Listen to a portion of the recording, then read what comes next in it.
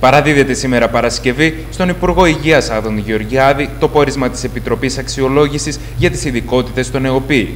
Η παράδοση του πορίσματος σηματοδοτεί ουσιαστικά την έναρξη της διαδικασίας της διαθεσιμότητας κινητικότητας των γιατρών του οργανισμού που θα γίνει σε συνεργασία με το Υπουργείο Διοικητικής Μεταρρύθμισης.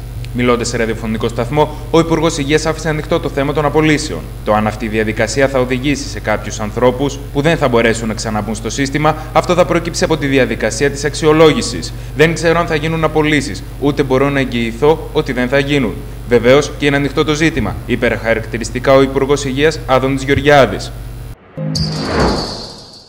Ένταση επικράτησε στο Σύνταγμα στο συλλαλητήριο που πραγματοποιήθηκε στη μνήμη του Αλέξη Γρηγορόπουλου πέντε χρόνια μετά τη δολοφονία του μαθητή από τον ειδικό φρουρό Επαμινόντα Κορκονέα. Η αστυνομία έκανε χρήση χημικών εναντίον των διαδηλωτών, ενώ έχει προχωρήσει σε προσαγωγές. Η πορεία από τα προπήλαια πραγματοποιήθηκε υπό αυστηρό αστυνομικό κλειό, ενώ καθ' όλη τη διάρκεια της σημειώνονταν μικροεντάσεις μεταξύ των διαδηλωτών και των αστυνομικών, με τους μαθητές να πετούν νεράτζια κατά των δυνάμεων των ΜΑΤ. Διαδηλώσεις πραγματοποιήθηκαν στην Πάτρα και στα Χανιά, ενώ για τις 6 έχει προγραμματιστεί στα προπήλαια νέα συγκέντρωση μνήμης και πορείας. Την ίδια ώρα, στη Θεσσαλονίκη θα πραγματοποιηθεί συγκέντρωση στην Καμάρα, σύμφωνα με κάλεσμα που απευθύνουν οργανώσεις της Εξοκοινοβουλευτικής Αριστεράς και Φοιτητική Σύλλογη.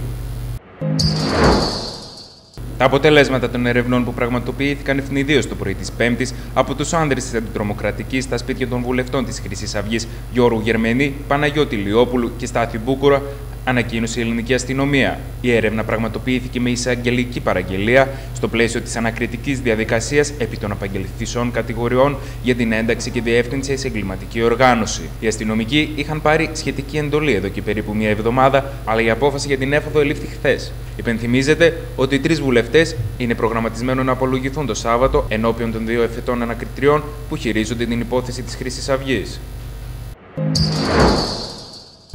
Απόπειρα αυτοκτονίας έκανε χθες το βράδυ η Βίκη Σταμάτη όταν πληροφορήθηκε ότι θα μεταφερθεί από τις φυλακές Κορυδαλού στις φυλακές της Θήβα.